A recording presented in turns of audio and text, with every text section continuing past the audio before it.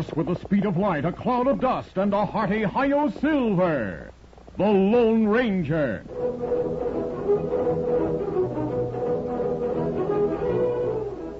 Before this exciting adventure, a word from our sponsor. General Mills, makers of Cheerios, the ready-to-eat oat cereal that gives you go power, and Wheaties, the breakfast of champions, present by special recording The Lone Ranger. Fullback Bobby is a boy of nine. He can really hit that line. He's a star because he knows he's got go power from Cheerios. Yes, he's got go power. There he goes. He's feeling his Cheerios. Cheerios. Cheerios. Yes, it's a fact. Cheerios does give you real go power. You see, Cheerios is made from oats, and every delicious spoonful of Cheerios and milk is real muscle building food. Each spoonful contains vitamins, minerals, and proteins your body needs. Yes, the good things in a Cheerios breakfast do good things for your body. Help you have healthy nerves, good red blood, strong bones and muscles. And Cheerios is so much fun to eat with its distinctive O shape and its wonderful toasted oat flavor. So tomorrow morning and every morning, start the day right with a Cheerios breakfast. Then you'll hear people say, He's feeling his Cheerios.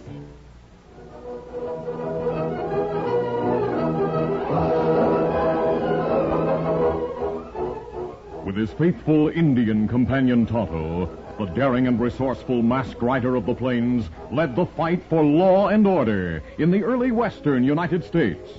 Nowhere in the pages of history can one find a greater champion of justice.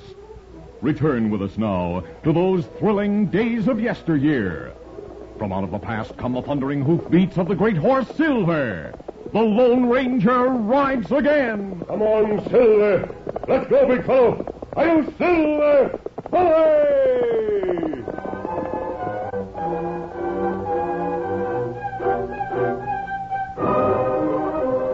Several weeks, the Lone Ranger and Tonto had been trailing three outlaws, led by a man named Baldy Bennett. The trail had been long and difficult, and as they approached the town of Rawhide, the tracks they had been following suddenly disappeared in the moonlit darkness. Oh, Silver. Oh, easy. Steady, big fellow. The two men drew rein and dismounted to study the hard-packed rocky ground. Brooks, plenty smart at covering tracks, Kemosabe.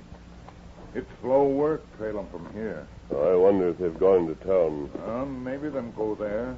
Maybe Camping Hills. Hard to say. Well, you look for their trail, I'll ride to town to tell Marshal Joe Howe about Baldy and his men. Hmm, that good idea. Steady, steady, big fellow.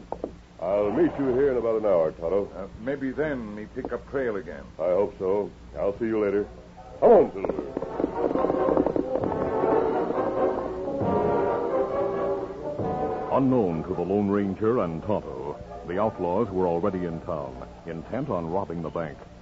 While Baldy Bennett and Jack Murdoch worked at the safe, Clip Nolo and Squint stood guard outside. Squint said, Someone's coming this way.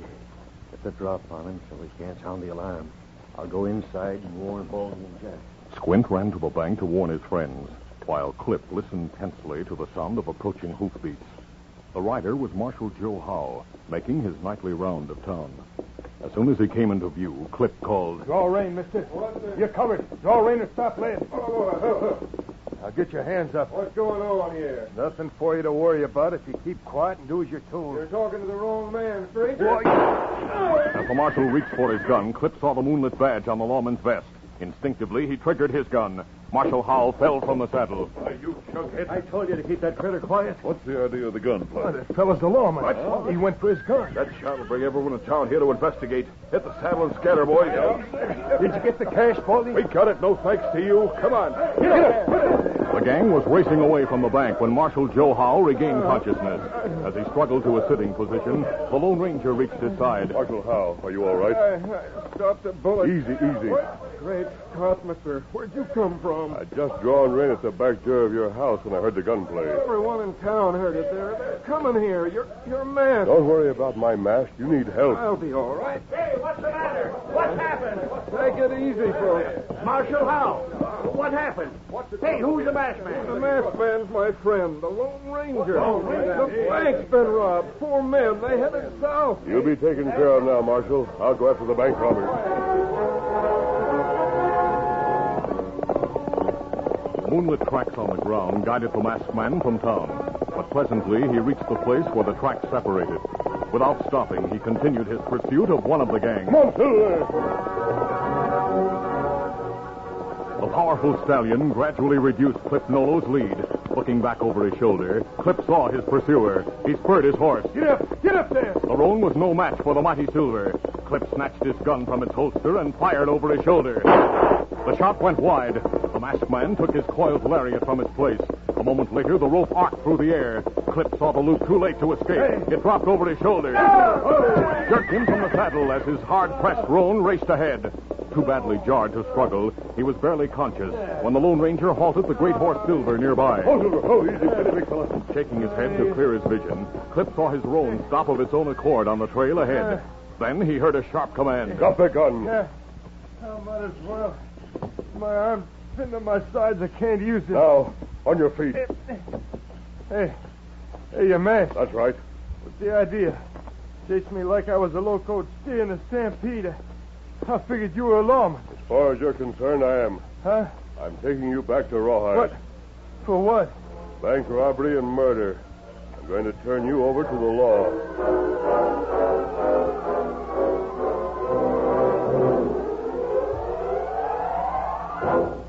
An hour later, the Lone Ranger drew rein with his prisoner in front of Marshal Howe's home.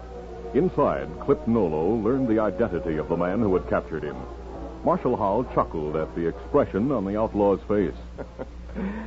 I want to thank you for bringing him in, mister. His friend got away, Marshal. Yeah, but this one's the feller who shot me. Who are you? Clip Nolo. This fellow traveled with Baldy Bennett's gang. What? Baldy recruited him in the town of Green Rock. How'd you know that? How did I I've been on your trail for weeks? My trail? Baldy Bennett's trail. When he reached Green Rock, he had two men with him. Safecracker known as Chicago Jack Murdoch I've heard of him.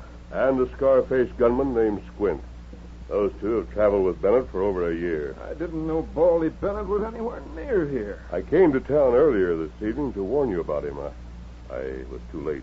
You know more than I figured. I reckon I might as well talk. Those fellows never trusted me anyway. Where are they going from here? We split up to throw the law off our trail. All of us were to meet Friday at Chimney Rocks, about five miles north of the town of Moose Jaw.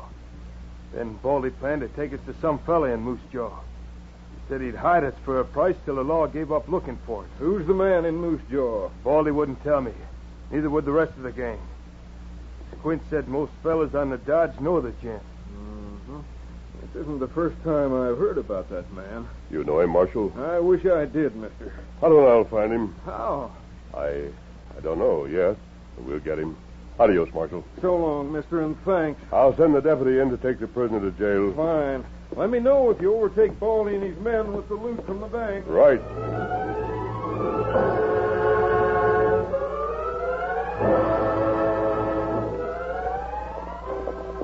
Late the following Friday, the masked man and his Indian friend reached Chimney Rocks, north of Moose Jaw. Oh, Silver, oh, easy. We're only five miles from town, Tonto.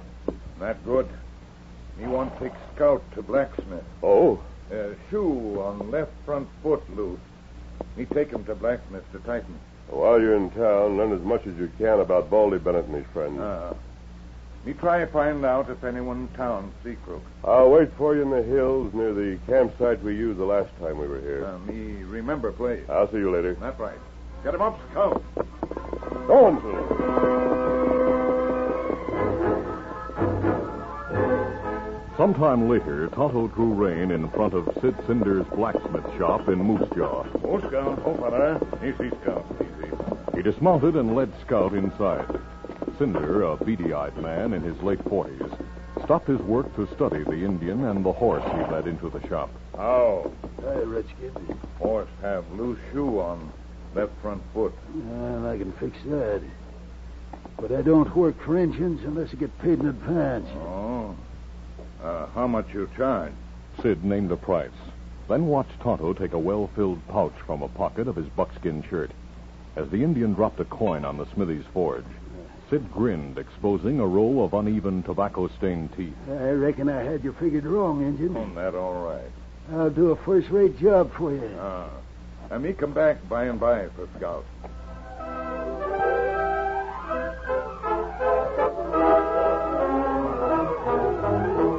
We'll continue our Lone Ranger adventure in just a moment. All over the country in every direction. How you, how you doing is the question. And here's what the happy, happy people have to say. Eating our oh, Wheaties and do, do, do, and okay, okay. Sure enough. Take Midwestern champions, for instance. When Bobby Feller takes the mound, the outfield boys sit on the ground. That Wheaties pitching leaves them there, watching batters fan the air. And when we name our Wheaties crew, Big Ted Kluszewski's in there, too. He'll face those hurlers day or night and knock their fastballs out of sight. Bob Feller and Ted Kluszewski both know that Wheaties magic. There's a whole kernel of wheat in every Wheaties flake. Wheaties, breakfast of champions. Keep on eating your Wheaties and you'll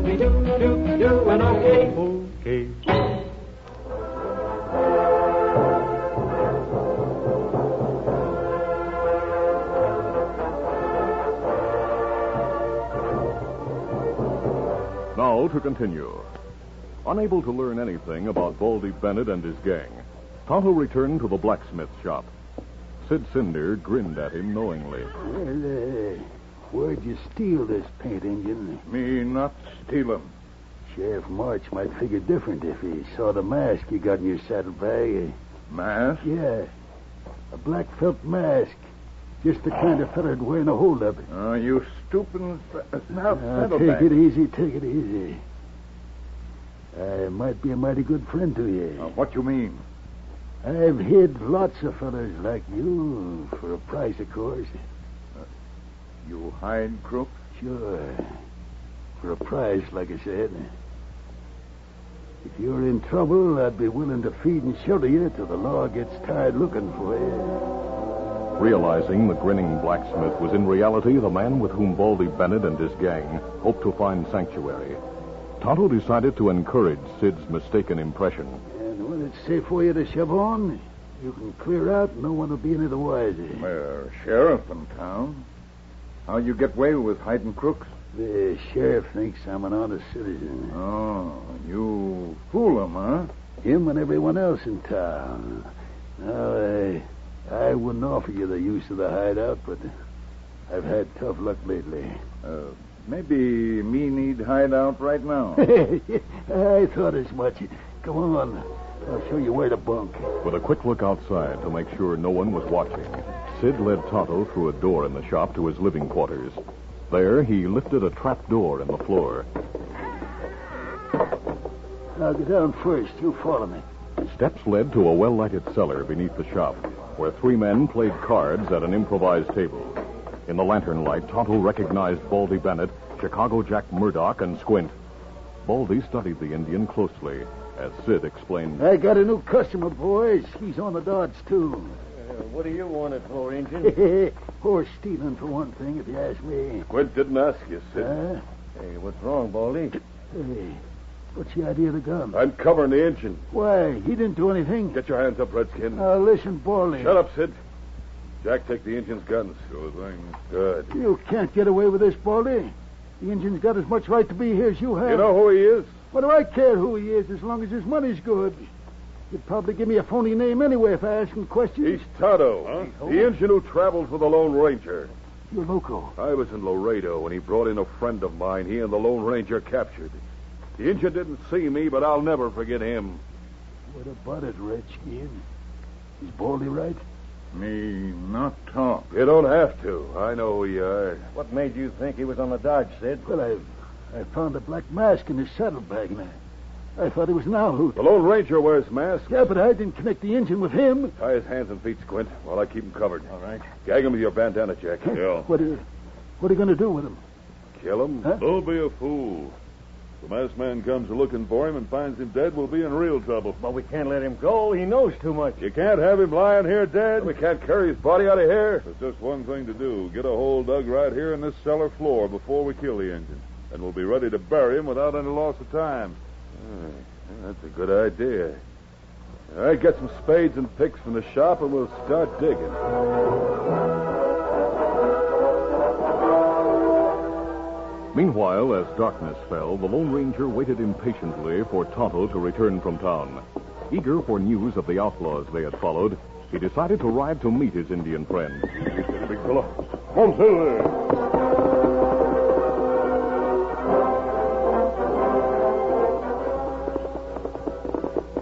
Easy, Silver, easy. When he reached the edge of town without seeing Tonto, the Lone Ranger became concerned. Pulling his hat low over his eyes to conceal his mask, he rode into Moose Jaw.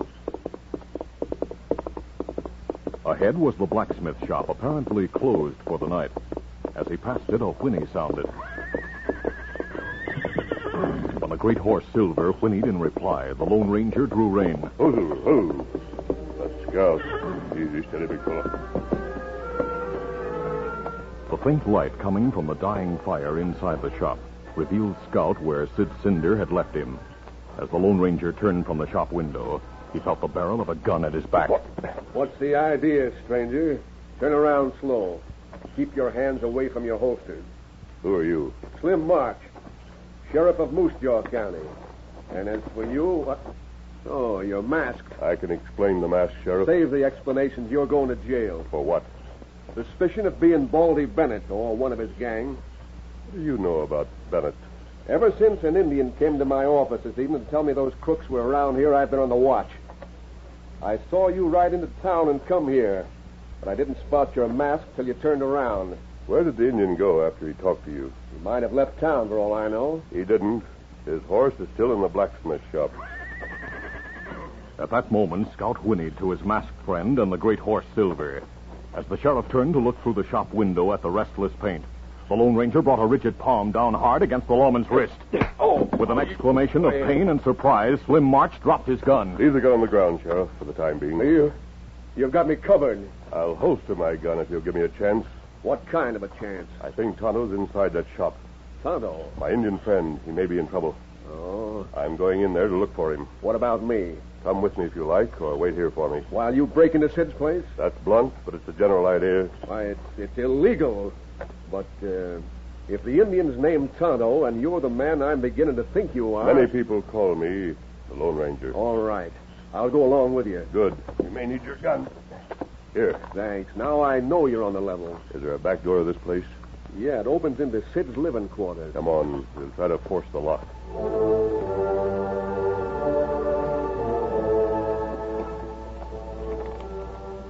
Wincing at the illegality of the action, the sheriff watched silently while the Lone Ranger forced the lock on Sid Cinder's back door.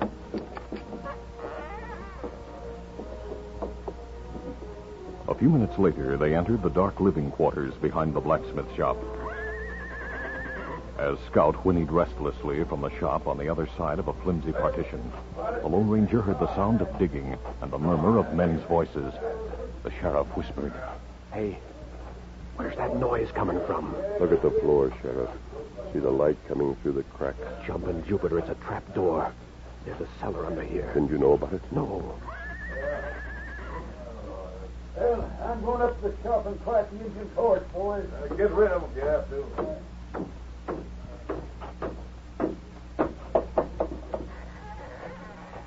You worry about the rest, Jim. I'll take care of the horse. As Sid stepped into the room from the cellar steps, the Lone Ranger pressed his Colt against the crooked blacksmith's ribs. Don't make a sound. Oh, you've got the Injun downstairs, I'll Sid. Sheriff. You'll keep him covered, Sheriff. I'll go down after his pals. I'll watch him. You keep quiet, Sid. Don't try warning those others.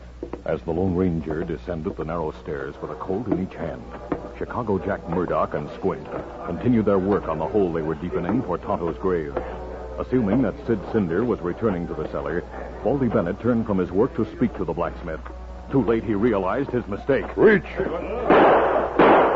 Baldy's gun fairly flew from its holster, but a silver bullet smashed the weapon before it completely cleared leather. A second bullet hit Baldy's shoulder, driving him back into the hole. Dropping their spades, Squint and Chicago Jack grabbed their guns.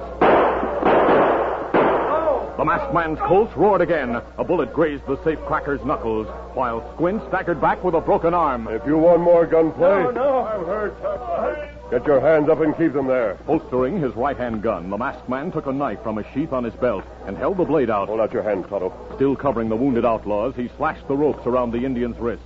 A moment later, Tonto took the gag from his mouth. Uh, me, me not think you find me in time, Kemosabe. I might not have found you at all if it hadn't been for Scout. Uh, these fellas, Baldy Bennett, Chicago Jack Murdoch, and Squint. Where's the loot from the cattleman's bank? Me hear 'em say money and gold in saddlebags there in bunk. Good. Now, if you'll tie their hands, Tonto, we'll take these three upstairs. Having any trouble with those skunks, mister? Everything's under control, Sheriff. Go on down, Sid. Join the rest of the crew. you've made a mistake, Sheriff. I'm just a poor blacksmith. You're a two-faced, triple-twisted, double-distilled crook. Sheriff, the stolen cash is there on the bunk. We'll have these men tied in just a minute. I'm mighty grateful to you for tonight's work. If it hadn't been for you, I might never have found out Sid was in cahoots with the crooks. I'm glad Tonto and I were able to expose him. Now, if you'll send a telegram to Marshal Howe in Rawhide, he'll send someone to pick up the stolen money. Good. I will help you take these men to jail.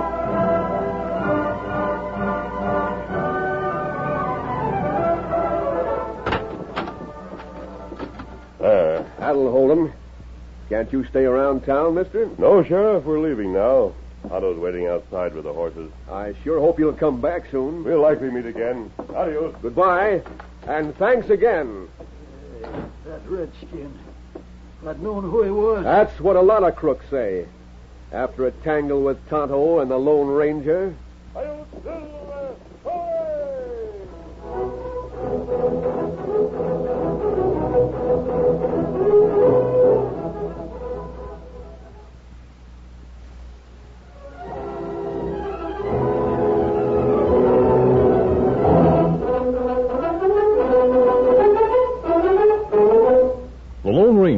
copyrighted feature of the Lone Ranger Incorporated, is produced by Trendle Campbell Muir Incorporated. The part of the Lone Ranger is played by Brace Beemer. Your announcer, Fred Foy. Listen to The Lone Ranger, brought to you by special recording Mondays through Fridays at this same time.